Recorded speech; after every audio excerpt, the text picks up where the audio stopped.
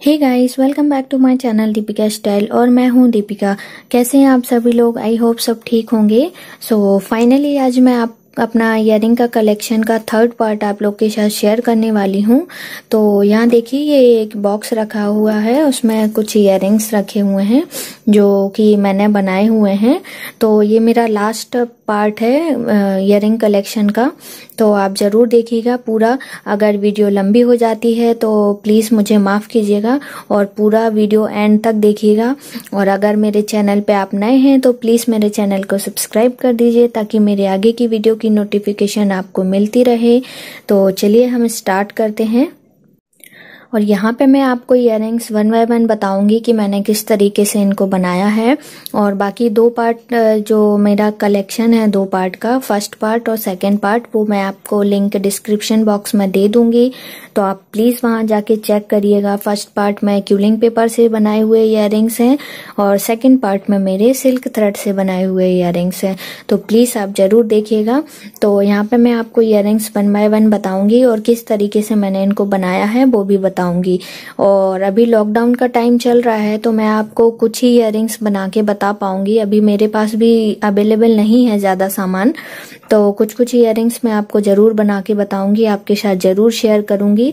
और यहाँ पे मैं इयर आपको बता रही हूँ तो वो मेरा कलेक्शन है और साथ ही साथ मैं आपको एक डिज़ाइन भी दिखा रही हूँ कि आप कुछ इस तरीके से बना सकते हैं। तो चलिए, अब ज़्यादा बातें नहीं करते हैं, हम स्टार्ट करते हैं वीडियो तो मैं बताने वाली हूँ आपको ये इयर के बारे में।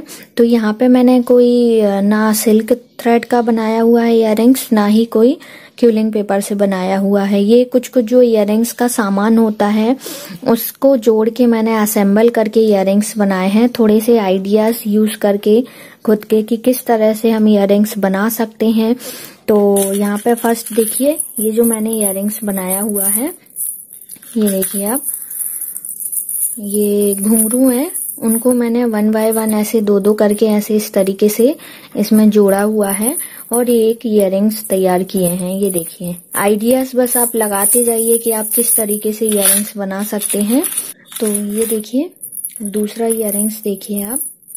जो इयरिंग में सामान यूज़ होता है इयरिंग बनाने के लिए, उसी सामान को यूज़ करके ही मैंने एक और इयरिंग्स रेडी किया है। ये देखिए, यहाँ पे भी मैंने घुंघरू लगाए हुए हैं, ये मोती लगाए हैं, ये सारा कुछ इयरिंग्स बनाने में यूज़ होता है। ये देखिए, और ये वाले जो इयरिंग्स हैं, बहुत ज़्यादा लाइट वेट हैं। आप समझ लीजिए, एक पेपर से भी अगर आप एक पेपर लेते हैं तो उससे भी ज़्यादा ये लाइट वेट है। तो ये देखिए। ये कुछ इस तरीके की इयरिंग्स है। मेरे पास एक लेस थी, कुछ इस तरीके की लेस है। उससे मैंने ये इयरिंग्स बनाए हैं। ये देखिए येलो कलर और एक ग्रीन कलर की लेस से। ये देखिए, बहुत ज़्यादा लाइट वेट है। इजीली आप इसको वियर कर सकते हैं। बहुत ही सुंदर लग रहा है ये। और सेकंड मैंने इसी लेस से एक ये इयरिंग बनाया हुआ है। ये देखिए आपको अपने आइडियाज़ जोड़ जोड़ के कि आप किस तरीके से और अच्छे अच्छे इयर बना सकते हैं। इयरिंग के सामान को यूज़ करके भी आप इयर बना सकते हैं, ये देखिए। को नेक्स्ट बताने वाली हूँ, ये देखिए। ये मैंने पीछे न्यूज़पेपर या पेपर आप कुछ भी ऐसे लगा सकते हैं, उसको लगा के मैंने ये कुछ इस तरीके से बॉल चेन का यूज़ करके और बीच में ये मल्टी कलर की चेन यूज़ करके मैंने ये इयरिंग बनाए हुए हैं, ये देखिए। और नेक्स्ट जो है, ये भी इसमें मैंने पीछे पेपर यूज़ किया है। पेपर के ऊपर मैंने इन चेन को मल्टी कलर की चेन को लेयर बाई लेयर लगाया हुआ है और फिर ये इयरिंग बनाया हुआ है। ये देखिए कितना सुंदर लग रहा है। नेक्स्ट आप ये देखिए। ये फॉर्म का फ्लावर है, जो मैं ऐसे ही डेकोरेशन के लिए लाई थी। तो उसका मैंने यूज़ इयरिंग बनाने में कर लिया है। ये देखिए। मैंने, ये देखिए, ये घुंघरू लगा के मोती वगैरह लगा के इसका मैंने एक इयरिंग रेडी किया है। अब आप यहाँ ये देख सकते हैं। ये देखिए, कितना प्यारा लग रहा है। इसमें भी मैंने पेपर यूज़ किया है। पेपर के ऊपर मैंने बॉल चेन यूज़ की है ब्लू कलर और गोल्डन कलर सर्किल वाइज आप लगाते जाइए और ये इयरिंग बना के तैयार कर सकते हैं। आपको जितना बड़ा रखना है, आप साइज़ उस हिसाब से रख सकते हैं। अभी नेक्स्ट ये देखिए। ये देखिए। ये सारा जो कुछ मैंने इसमें लगाया हुआ है, ये पूरा आप एक इयरिंग बनाने में यूज़ करते हैं। मैंने आपको शायद सिल्क थ्रेड और क्यूलिंग पेपर का बताया था इयरिंग उसमें मैंने ये लगाए हुए हैं। आप देख सकते हैं, अगर आपने नोटिस किया हो। तो अभी नेक्स्ट देखिए। एक ये है इयरिंग ये सारा सामान आपको इजीली ऑनलाइन शॉप पे मिल जाएगा, या आप लोकल मार्केट में आपके पास जो भी मार्केट है तो वहाँ से जाके आप परचेस कर सकते हैं। ये देखिए, ये मेरे पास एक मोती रखा हुआ था, ये दो तो उससे मैंने इयरिंग बनाए हुए हैं। ये पूरा सामान इयरिंग बनाने का है तो उससे असेंबल करके मैंने ये इयरिंग तैयार किए हैं। ये देखिए, ये हुप इयरिंग है। मेरे पास ये हुप एक रखा हुआ था तो उसमें मैंने ये ये मोती डाल के इसको रेडी किया है। ये देखिए, ये पर्ल डिज़ाइन का बनाया हुआ है ये मैंने। इसको असेंबल करके, ये देखिए, कितना सुंदर लग रहा है ये। एक ये डिज़ाइन है और मैंने इसी तरह से इसी मोती का यूज़ करके एक ये वाला डिज़ाइन रेडी किया है। ये देखिए, इसमें मैंने नीचे घुंघरू लगाया हुआ है। कुछ इस तरीके का डिज़ाइन ये देखिए। थोड़े से आइडियाज़ आपको लगाने पड़ेंगे कि आप किस तरीके से इयर बना सकते हैं। ये देखिए। ये वाला देखिए।